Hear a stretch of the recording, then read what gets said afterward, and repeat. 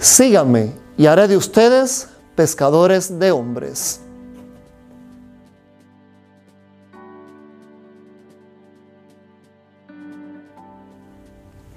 Mis queridos amigos, durante estos domingos del tiempo ordinario, las lecturas hacen referencia al discipulado. Este fin de semana escuchamos en el Evangelio cómo Jesús llama a sus discípulos y les transforma la vida. De pescar en el mar, pasaron a pescar en la tierra. Jesús los convirtió en pescadores de hombres.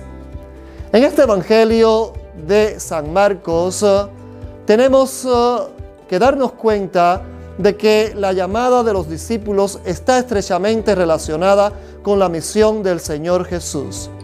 Jesús llama al arrepentimiento para creer en el Evangelio de Dios. La palabra Evangelio significa buena noticia. Después que Jesús comienza su misión, empezando a predicar la buena noticia, es que llama a sus colaboradores para que lo ayuden a completar su misión.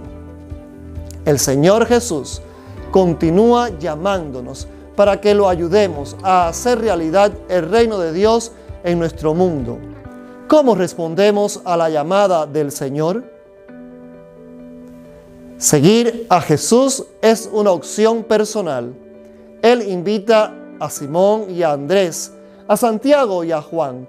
Ellos decidieron seguirlo y al seguirlo se dieron cuenta de que debían dejar algo para poder cumplir su misión. ¿Qué debemos dejar para ser verdaderos discípulos de Cristo? Tal vez nosotros no tengamos que dejar redes y barcas, no tengamos que dejar a nuestra familia y a nuestros amigos, pero debemos analizar nuestra vida y ver qué nos está impidiendo ayudar a Jesús a cumplir su misión de anunciar el Evangelio. Tal vez lo que tengamos que dejar son nuestros pecados y aquellas actitudes que nos impidan ser otro Cristo para nuestro mundo. Cristo nos llama y quiere que le respondamos ahora.